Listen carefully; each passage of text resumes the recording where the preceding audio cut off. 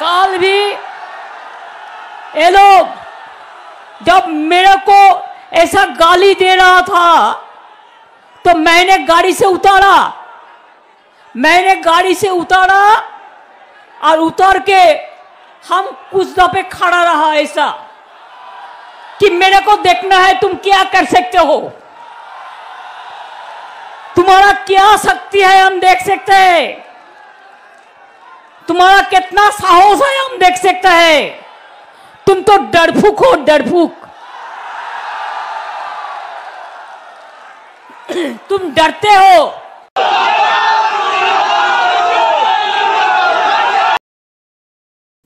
প্রিয় দর্শক আমি শফিকুল ইসলাম এবং আপনারা দেখছেন আরামবাগ টিভি দর্শক আজকে ইউপিতে যখন সমাজবাদী পার্টির সমর্থনে বক্তব্য রাখছিলেন একটি সভাতে তখন মমতা বন্দ্যোপাধ্যায় গতকালকে যে বিষয় আপনারা দেখছেন, যে ভিডিওটা, এ নিয়ে একটা মন্তব্য করেন। যে যখন এরকম একটা ঘটনা ঘটছিল, আমি গাড়ি থেকে নেমেছিলাম এবং নেমে দেখছিলাম। বলছেন যে, আপনারা তো ভীত। এরকম একটা বলার চেষ্টা করছেন হিন্দিতে, তার হিন্দিতে তিনি একটা বলার চেষ্টা করছেন। অর্থাৎ যেটা হয়েছিল গতকাল, তিনি গাড়ি থেকে নেমে দেখছিলেন যে কতটা সাহস আর কি, পরীক্ষা করছিলেন সেই জন্য তিনি গাড়িতে নেমেছিলেন। সেই কথা তিনি কিন্তু আজকে বক্তব্য যখন রাখছিলেন, তখন কিন্তু সে কথা তিনি বলেছেন। কিন্তু দর্শক আমি দেখছিলাম আজকে তৃণমূল কংগ্রেসের অনেকে বলছিলেন প্রতিবাদ কর্মসূচি হয়েছে। সেখানে বলা হচ্ছিল যে যে একজন মুখ্যমন্ত্রী যার সিকিউরিটি হচ্ছে জেড প্লাস ক্যাটেগরির, তার কাছাকাছি কি করে বিক্ষোভকারীরা এলেন? এরকম একটা বলা হচ্ছিল। বিক্ষোভকারীরা কি করে তার কাছাকাছি এলেন? কীভাবে এরকম বিক্ষোভ দেখানো হলো? তার সিকিউরিটির দিকে নজর দেওয়া হয়নি। ইত্যাদি বলে আমরা দেখছি যে, ওখানকার পুলিশ সম্পর্কে আরও অনেকের সম্পর্কে অনেক কথা বলা হচ্ছে। কিন্তু প্রশ্ন দর্শক সিম্পল একটা প্রশ্ন।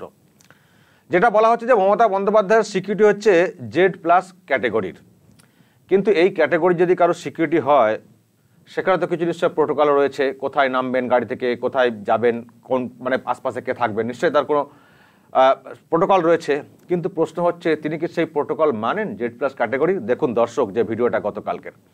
মমতা বন্দ্যোপাধ্যায় গাড়ি থেকে নেমে পড়েছেন নেমে পড়েছেন তার যারা সিকিউরিটি দেখুন কি অবস্থায়। এবং পাশে একজন রয়েছেন, তার সঙ্গে থাকেন এক সাংবাদিক, তাকে আমরা দেখতে পাচ্ছি। ওখানে তিনি যেভাবে গাড়ি থেকে নেমে দাঁড়িয়ে পড়লেন, এটা কি অনেকটা উস্কানি দেওয়ার মতো নয়? যে দেখো আমি দাঁড়িয়ে রয়েছি, কি করে এইভাবে দাঁড়াচ্ছেন দেখছি। যখন একটা জায়গায় কোনো এক ব্যক্তি জেড প্লাস ক্যাটেগরির সিকিউরিটি থাকে, তিনি যেখানে খুশিভাবে নামতে উঠতে পারেন না সিকিউরিটি পারমিশন সেভাবে দেয় না।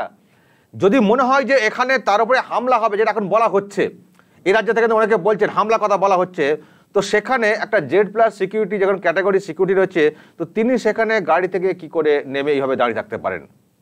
এরপর যদি কিছু ঘটে যেত যখন তার আশঙ্কা, তার দলের আশঙ্কা, সবাই বলছেন যে তিনি একজন জেড প্লাস ক্যাটাগরির একজন সিকিউরিটি পান, সেখানে তিনি কি করে গাড়ি থেকে নেমে ওইভাবে দাঁড়িয়ে পড়তে পারেন? যেখানে তার হামলার আশঙ্কার কথা বলা হচ্ছে, সেখানে তিনি কি করে দাঁড়িয়ে পড়বেন? আমি দেখছিলাম, ভালো করে দর্শক লক্ষ্য করবেন।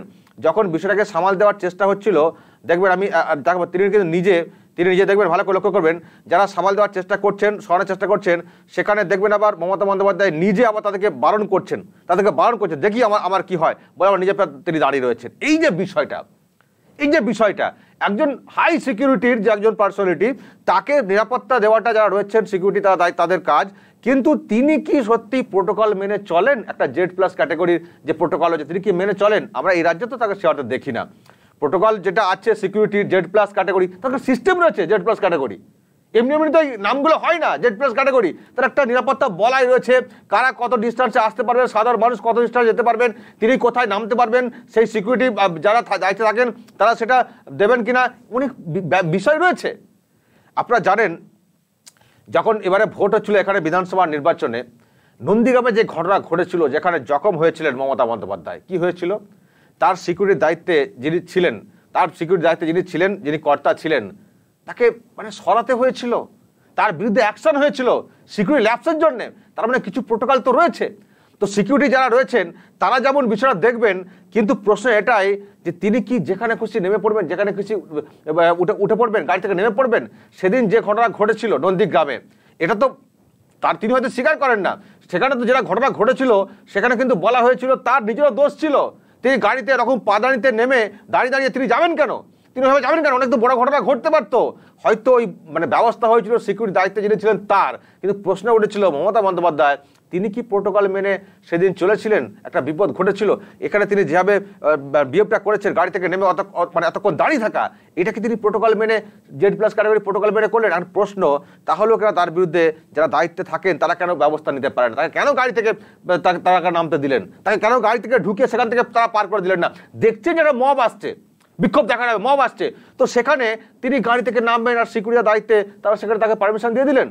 আমি দেখতে পাচ্ছি অনেক সিকিউরিটি রয়েছে তা খুবই চেনা জানা। আমরা এবঙ্গে তাদেরকে দেখি। সুতরাং তারা কি করে পারমিশন দেন গাড়ি থেকে তিনি নামবেন? আরে জননেত্রী, নেত্রী যাই হন না কেন, কতগুলো প্রোটোকল রয়েছে তো সিস্টেম রয়েছে তো। যেখানে খুশি, যেখানে হাই সিকিউরিটি তারা পান, সে- যেখানে হাই সিকিউরিটি একটা পার্সোনালিটি সেখানে তিনি গাড়ি থেকে নেমে দাঁড়িয়ে পড়লেন ওখানে ওপেন জায়গাতে। যদি বড় কিছু ঘটনা ঘটে যেত, দায়টা হতো, নিরাপত্তার দায়িত্ব থাকা সবার দায়িত্ব হতো, পুলিশের দায়ী দায়ী হতো। কিন্তু তিনি কি প্রোটোকল মেনে, নিয়মটা মেনে কি গাড়িতে চলাফেরা করেন? তিনি কি সেটা মেনে চলছেন? যদি মেনে চলতেন, তিনি চলে যেতেন ওখান থেকে, দেখতেন কিছুই হতো না। আশপাশে কালো পতাকা যারা করার, তারা ওইভাবে দাঁড়িয়ে থেকে যেতেন, কখন তিনি সেখান থেকে চলে যেতেন। কিন্তু সেটা না করে তিনি কার্যত যে সিনটা ক্রিয়েট করলেন, দেখো আমি কত সাহসী। দেখো আমি কত সাহসী। আবার কিছু ঘটলে আমি আবার এখানে দেখি অনেকে বলতে শুরু করেন তৃণমূলের মহিলা মুখ্যমন্ত্রী। আরে মুখ্যমন্ত্রীর মুখ্যমন্ত্রী। মহিলা পুরুষ, সব জায়গায় মহিলা পুরো রিজার্ভেশন কি লোকাল বাস নাকি? মহিলা মহিলা মুখ্যমন্ত্রী বললে মহিলাদের মানে আসনে বসে পড়বেন? সব জায়গায় মহিলা পুরুষ রিজার্ভেশন একজন মুখ্যমন্ত্রী মুখ্যমন্ত্রী, তার হাই সিকিউরিটি আছে জেড প্লাস ক্যাটাগরির তো সেখানে মহিলা মুখ্যমন্ত্রী বলে এইসব সিম্প্যাথি তৈরি করার কি রয়েছে? মহিলা মুখ্যমন্ত্রী বলে কি, তিনি যা কিছু করবেন, তিনি প্রোটোকল মানবেন না, তিনি এমন একটা পয়েন্টে দাঁড়িয়ে থাকবেন যেখানে যেখানে খুব সহজে আক্রমণ করা যাবে। আর কিছু ঘটে গেলে দোষ হয়ে যাবে সিকিউরিটির দোষ হয়ে দায়িত্বে থাকা লোকজনদের, তা তাদের বিরুদ্ধে অ্যাকশন হবে। আর তিনি যে দোষটা করলেন প্রোটোকল না মেনে এরকম একটা ক্যাটাগরি তিনি এরকম ক্যাটাগরি বলেই তো তাকে জেড প্লাস ক্যাটাগরি নিরাপত্তা দেওয়া হয়েছে। তো সেখানে কোনো নিয়ম রয়েছে? আমার সিকিউরিটি থাকবে, আমি মানবো না। আমি চলে যাব যেখানে খুশি লোকের ভিড়ে। কিছু হয়ে গেলে বলব, আমার নিরাপত্তা দেয়নি। ভাবুন তো, এদের জন্যে সত্যি অফিসার যারা দায়িত্ব থাকেন, তারা দোষী হয়ে যান, তারা তাদের বিরুদ্ধে অ্যাকশন হয়ে যায়। কিন্তু প্রশ্ন, তিনি সত্যি একজন রাজ্যের মুখ্যমন্ত্রী হয়ে তিনি কি প্রোটোকল মানেন? সব জায়গায় সিন ক্রিয়েট করে দেখার চেষ্টা করব আমি কত বড় সাহসী। জেড প্লাস ক্যাটাগরি আর এক নেতা রয়েছেন, দেখবেন বিরাট হাই সিকিউরিটি মঞ্চে দাঁড়িয়ে দাঁড়িয়ে বিরাট বক্তব্য রাখেন। এই যে বিষয়গুলো হাই সিকিউরিটি এবং আমি দেখাচ্ছি কত আমি সাহসী। আর এইসব করতে গিয়ে প্রশ্ন ওঠে প্রশ্ন ওঠে কিছু ঘটে গেলে তাদের দোষটা হয়ে যায়। ফলে দর্শক, আমি এই জন্যই প্রশ্নটা তুলছি, যখন এত কথা বলা হচ্ছে ওনাকে বলছেন জেড প্লাস ক্যাটাগরি কী করে কাছাকাছি লোকজন পৌঁছে গেলেন? আরে আপনি কি তো আপনি তো নিজেই কাছাকাছি পৌঁছে যাচ্ছেন ইচ্ছা করে। আর দোষ দিলে হবে। তবুও দর্শক, আমি আজকে একটা বিষয় আপনাদেরকে দেখাবো। আর একটা ঘটনা, আপনারা জানেন যে পাঞ্জাবে একটা ঘটনা ঘটেছিল যখন দেশের প্রধানমন্ত্রী নরেন্দ্র মোদী যাচ্ছিলেন। ফ্লাইওভারে তিনি আট- আটকে গেছিলেন। ফ্লাইওভারে তিনি আটকে গেছিলেন, বিক্ষোভ হচ্ছিল, রাস্তা ব্লক করে তিনি আটকে গেছেন তিনি কি তাহলে সেই সময় একেবারে গাড়ি থেকে নেমে চলে গেছিলেন? বিক্ষোভকারীর সঙ্গে, দেখো আমি কত সাহসী, দেখাতে চলে গেছিলেন? তিনি কি চাইলেও যেতে পারতেন? আমি দর্শক স্টিল পিকচারগুলো দেখাবো, যেগুলো আমার কাছে এখনও রয়েছে দর্শক। এই হচ্ছে পাঞ্জাবের যে ফ্লাইওভারে তিনি আটকে গেছিলেন সেখানে দেখুন তার গাড়িতে তিনি দেখবেন আমি জাস্ট পরপর স্লাইড শো দেখাবো যে তাকে এসপিজি যে সিকিউরিটি যারা দায়িত্বে থাকেন, তারা কীভাবে একেবারে গাড়ির চারিধারে ঘিরে দাঁড়িয়েছিলেন। আর প্রধানমন্ত্রী নরেন্দ্র মোদী, তিনি চাইলে হয়তো, আমি জানি না, তা মানে মানে সেই জায়গায় দেখুন, যেভাবে দেখুন গাড়িটা দেখতে পাচ্ছেন, গাড়ির ভিতরে তিনি কিন্তু বসে রয়েছেন, চারিদিকে এক হাজার সিকিউরিটি তারা কিন্তু সেখানে ছিলেন, তাকে কিন্তু আমরা গাড়ি থেকে নেমে ওই রকম কিন্তু আমরা করতে দেখিনি। যখন এরকম একটা অ্যাজিটেশন হচ্ছে, বিক্ষোভ হচ্ছে তিনিও তো অনেক জায়গায় আমরা দেখেছি তিনি নামেন, হাত নাড়েন। কিন্তু এই জায়গায় যখন বুঝতে পারছি একটা সমস্যা হতে পারে, সুতরাং আমার দায়িত্বে যারা রয়েছে সিকিউরিটি তারা আমাকে পরিশ্রান দিচ্ছেন। তারা পরিশ্রান দিচ্ছেন, আমি পরিশ্রান ওই বেরিয়ার গন্ডি ছেড়ে আমি চলে যাব? আমি বিরাট সাহসী দেখাতে ক্যামেরা চলছে, ছবি হচ্ছে। ওই যে ছবি হচ্ছিল গতকালকে, ছবি হচ্ছে বলে সিন ক্রিয়েট করে মানে ওরকম করে ফেলেন। ওই প্রধানমন্ত্রী তো সেটা করলেন না। তিনি তো প্রধানমন্ত্রী, তিনি চাইলে তো অনেক কিছু করতে পারেন। কিন্তু তিনিও তো প্রোটোকল মেনেছেন। প্রোটোকল মেনেছেন সিকিউরিটি যা সিস্টেম রয়েছে সিকিউরিটি কথা রয়েছে, তিনি তো প্রোটোকল মেনেছেন। তিনি আরও অন্যান্য জায়গায় আমরা দেখেছি মানুষের সঙ্গে মিশে গিয়ে তিনি মানে মানে দেখেছি তাকে বিভিন্ন কর্মসূচিতে। কিন্তু এক্ষেত্রে যখন অ্যাজিটেশন যখন ক্ষোভ বিক্ষোভ সিকিউরিটি একটা আহ, একটা ফ্যাক্টর যেখানে তার সিকিউরিটির জন্য সিকিউরিটি যারা দায়িত্বে থাকেন তারা চেষ্টা করছেন আর সেখানে তাদের কথা না শুনে আমি বেরিয়ে যাব দেখো আমি কত সাহসী। হয়তো তিনি সেটা করতে পারতেন, যদি তার মধ্যে ছবি তোলার ব্যাপারটা থাকতো, তিনি সেখানে করতে পারতেন, বিরাট সাহসী বলে প্রমাণ হতো। এটা যেটা হয়তো ভাবছেন মমতা বন্দ্যোপাধ্যায় এবং আজকে যেটা মঞ্চে দাঁড়িয়ে বলেওছেন। ফলে এই যে কথাগুলো, আমি বিরাট সাহসী, দেখি আমাকে কি করে বলে। দাঁড়িয়ে পড়লাম, আর কিছু হয়ে গেলেই বলা হবে, কেন হলো সিকিউরিটি জেড প্লাস ক্যাটাগরি কী করে লোকজন কাছে চলে এই যে বিষয়টা, এই যদি মানসিকতা হয়, তাহলে কি করে কি করে বলুন তো এইসব মানুষগুলোকে আটকানো যায়? আর কি করি বা এইসব প্রশ্ন তারা তোলেন? যারা যারা বলছেন যে জেড প্লাস সিকিউরিটি কী করে চলে গেলেন, তারা একবার বলছেন না যে তিনি কি করে গাড়ি থেকে নেমে অতক্ষণ ওখানে দাঁড়িয়েছিলেন এই ইচ্ছাতে? তবে দর্শক, আমি আজকে আরেকটা বিষয় উল্লেখ করব। এই যে কথা বলা হচ্ছে, ইউপির পুলিশ সম্পর্কে অনেক কথা বলা হচ্ছে। আপনারা তো দেখলেন ইউপির পুলিশ কীভাবে সামাল দেওয়ার একবার চেষ্টা করেছে গতকাল। আমি দর্শক, আমি গতকালকে আপনাদেরকে একটা বিষয় দেখেছিলাম, আজকে আমি আরেকবার দেখাবো। সেটা হচ্ছে এই রাজ্যে দু হাজার কুড়ির দশই ডিসেম্বর, যেটা হচ্ছে জেপি নাড্ডা যখন এসছিলেন, এখানে ডায়মন্ড হারবারে একটা কর্মসূচি করতে যাচ্ছিলেন, সেই সময় তার তার কনভয়ের দিকে কীভাবে হামলা চালানো হয়েছিল দর্শক, সেই ভিডিওটা একবার দেখি, আমি কতগুলো কথা বলতে চাই।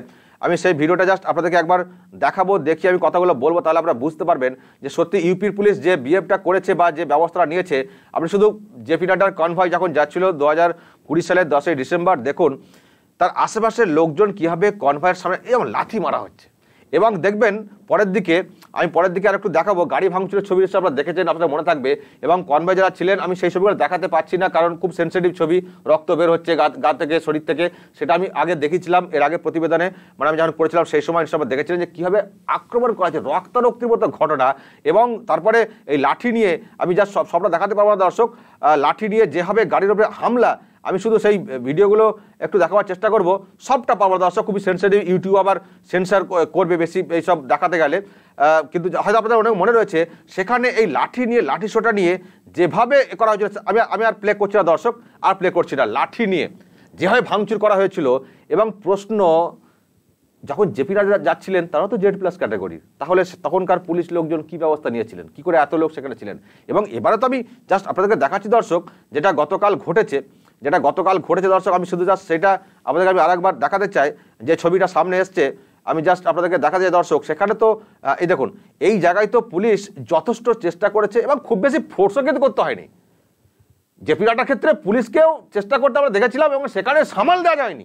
এত ক্ষোভ বিক্ষোভ, এবং বলা হয়েছিল জনরোষ। টিএমসি বলেছিল, জনরোষ আমরা কি করব? মানুষের একটা ক্ষোভের বহিঃপ্রকাশ।